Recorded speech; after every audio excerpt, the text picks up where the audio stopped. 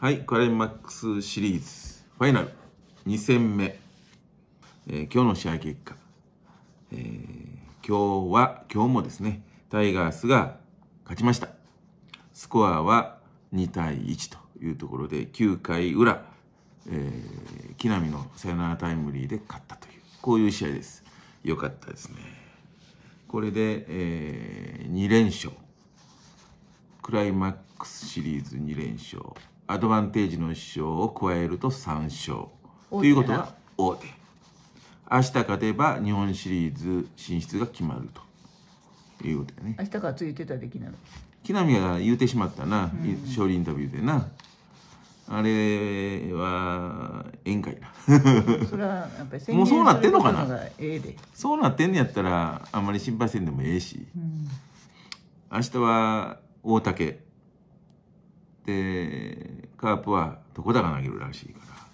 床田第一戦ファーストステージ。よかったで。すごいよかったよ。あのピッチングがなんか5日で投げれんねんな。まあまあほんならそこそこの球投げてくるでしょ昔のピッチャーなんかやったら、えー中4日中3日そのぐらいで投げてたからな。だからいつかやったらまあ短期や。短期決戦やからまあ大丈夫でしょそれなりの球投げると思うわ。100%は投げられないにしても80%ぐらいはあの出来で投げれるでしょう。若いしねまだ。となってくると明日は大竹は投げてみないちょっとわからない。大竹の感じからすると23点は取られる可能性があるからね。まあまあ明日でもまたあのね大手かかってるしまたちょっと違う雰囲気になるやろうからね。そうは言ってもタイガースの方がやっぱり有利やわな。というところでちょっと話を戻してこの試合です、えー2対1ということで、えー今日の先発はタイガースは、えー伊藤将司。そして、えーカープは大瀬良大地というこの2人が投げましたと。えー伊藤については今季は10勝5敗で防御率が2.39まずまず安定したピッチングをしてたと思います。一方大瀬良は、えー今季6勝11敗。防御率3.61ということで、えーやっぱり防御率も悪いし、えー負けが大きく先行してるよね。だから、えータイガース戦もこれ大瀬良は結構打たれてたわけよ。タイガースから見れば打ってたよ。今季タイガース戦の成績は大瀬良ね防御率7.5や3回先発して0勝1敗で、えー失点10やな。10失点、えー自責点10ということやから。しかも3回3回で 3, し3戦やね。3試合先発して12回しか投げてないからな。だけど平均すると4回しか投げてないわけや。1試合でな。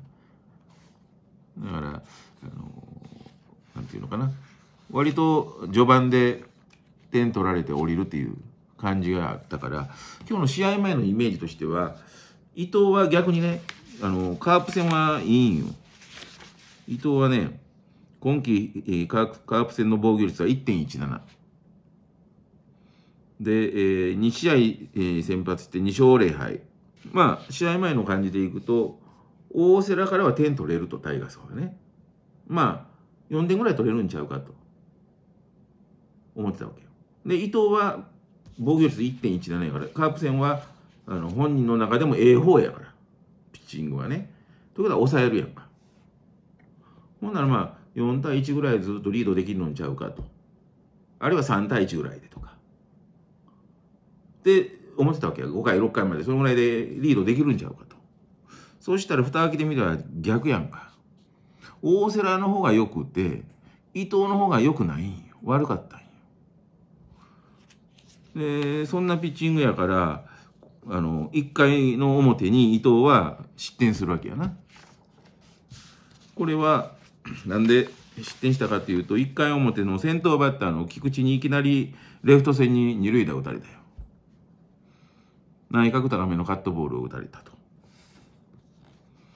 で、ワンアウトから小園や。な。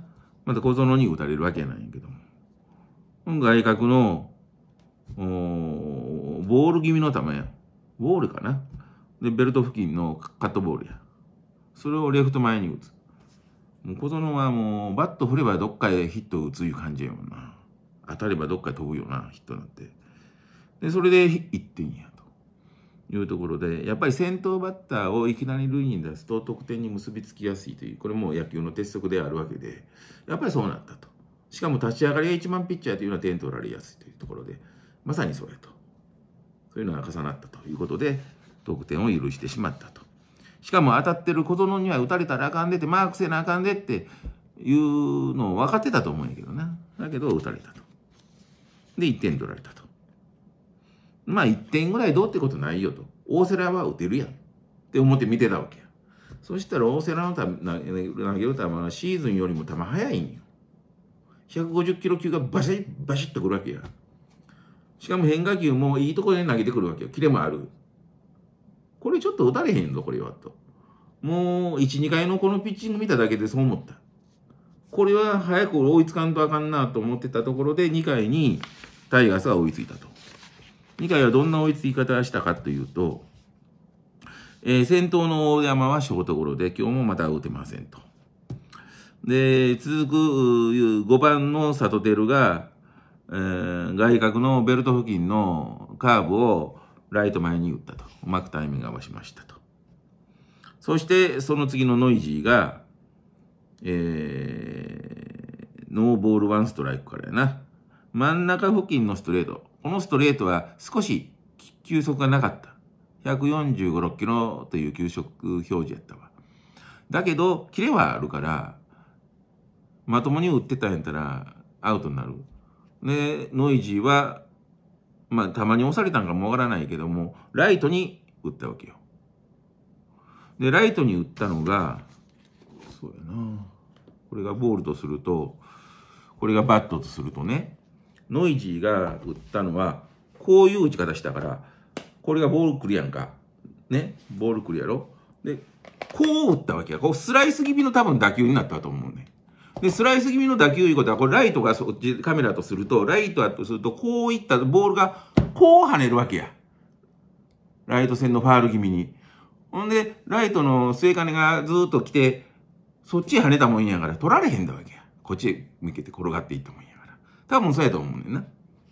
ほんで、えー、コロコロっとフェンスまで転がってる間に一塁ランナーのサテルがホームインしたと、点やと。これはラッキーやったわ。でも、あの、ノイジーは、やっぱり右打ちをやってくれる。これをせなあかんねやっとここで出たなと。シーズンの時でも時々動画で言うてるんだけど、ノイジーとか、えー、梅野とかやな。あの、右打ちせなあかん。それを思い切って引っ張って、引っ張ってアウトになってるケースが多かったからね。そう思ってたんだけど、そこでノイジーがそういうバッティングができたから、まあ、あの、エラー絡みで結局打点はつかなかったけど、1点は入ったと。で、ワンアウトランナー三塁で坂本や。これがもう三振してしもてな。まだランナー三塁におんねんで。もう一点ここが欲しかったよ。で、木浪はけ、あの、申告権。で、ツーアウト一塁三塁になって、ピッチャーの伊藤を空振り三振ということで、結局、同点にまでしかいかなかった。ここはちょっと問題ありやね。もう一点取らなあかんわ、なんとか。でもさ、木浪を敬遠したの？は作戦勝ちや。木浪はええんやけど、坂本のとこや、問題は。どうやろう？問題は坂本のとこよ。ワンアウトランナー三塁やねんからな。なんとかせえよ、という話やな。まあでもランナーがノイジーやったから多分スクイズは要せえへんだよ。でも内野ゴロでもボテボテの内野ゴロ、あ、いい当たりの内野ゴロやったら無理やけど、ボテボテの内野ゴロやったら三塁ランナーホームインとかできるからね。あるいは外野フライでも。っていうところが欲しかったなと。まあそれで結局同点止まりになって、その後はもう結局ね、ずっと8回終わってまで1対1でいくわけよ。で、えータイガースにしてみれば、大瀬良が投げてるのは7回まで投げて、あ、伊藤も7回まで投げたんだけども、えー大瀬良に、えー、3安打やんか。1、2、3、4、あ、5イニングか。な、7回からやから。な、5イニング。三者凡退いうことはランナーが出えへんいうことやから。そら点にはならんわな。で、えー5回に1安打打ったけども、まあ、1安打では点にななかなかなられへんしね。まあ、フォアボールも選んだんやけども、まあ無理やったと。一方、伊藤はどうやったかっていうと、あんまり良くはなかった。良くなかったけども、3回、4回、5回と、この3イニングは三者凡退に抑えた。で、あとはもうヒット打たれてんねんな。すべての回ね。打たれてるわけよ。でも守備も良かったよ、伊藤な。うん。伊藤はね、なんていうのかな。まあ、投げてる球、まあ、シーズン中よりも若干はスピードあったと思うねんな。球速表示で言っても、140キロから144キロぐらい出てたから。で、まあ、平均的には142キロぐらいの球、ストレートは来てたと思う。でもね、甘くて高い球がやっぱ多かったよ。高いな高い球ばっかり投げてんなと思って見てたね。1点でこれしのいだのはなぜか。なぜ1点でしのいだか。これはピンチでランナー背負っても、そこで粘った。粘り強く投げた。簡単にそれランナーを背負ってる段階でヒットを打たれなかった。それから広島打線の打ち損じ。これもあった。それと今さっき言ったように伊藤自身の好守備やね。二つあったからね。ボテボテのピッチャー頃、これもタイミング絶対セーフになるっていうやつを、もう諦めずに、取ってきっちり投げた。まあ、ワンバウンドにはなったけども、ハーフバウンドかな。大山がうまく取ったが、キャッチしたしな。それと、ピッチャーライナー。あれはなかなか難しいの。反射神経いいから、取るんよ、伊藤は。んで、ダブルプレーに打ち取った。自分で自分のピンチを救ったという。自分の守備でね。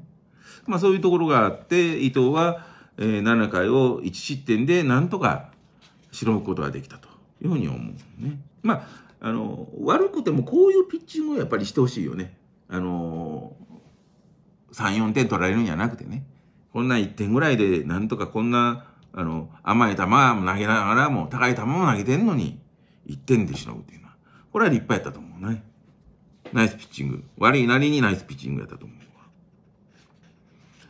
そして、えー、7回まで伊藤が投げて、8回は、えー、石井と島本とブルワーが投げたという。もう8回3人がかりでやっと抑えたんよ、これ。で、この島本が野間に対してセンター前ヒットを打たれると。続く小園に対しても、えー、真ん中の低めのフォークボールやったんやけども、それをレフト前に、小園はうまく打つよ。当たればヒットになんねん。うちでの小槌みたいなバットや、ほんま。で、ヒット打ったと。で、ツーアウト一塁二塁になった。結局島本は左バッター2人アウトに取れなかったよね。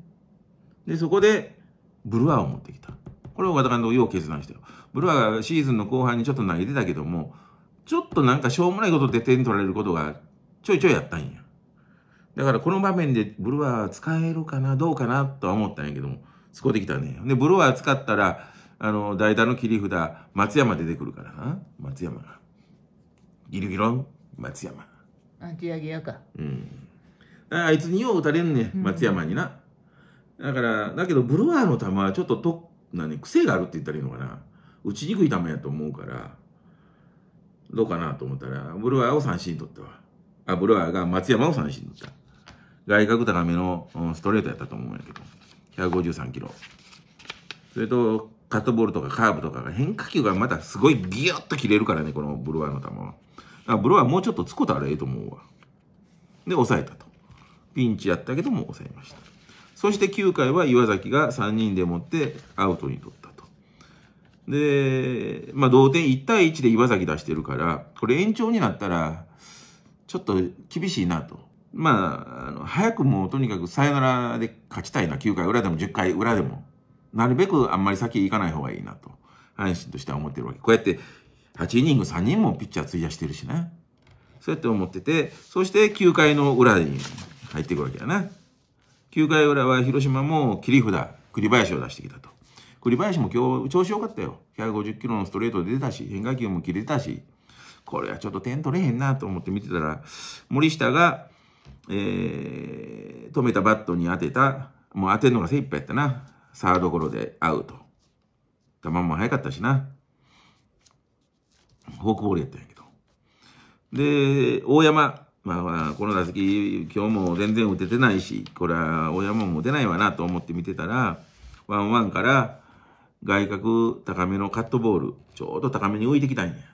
それを見逃さなかった。綺麗に打ったよ、宇宙間に。ね、二塁打。よう走った。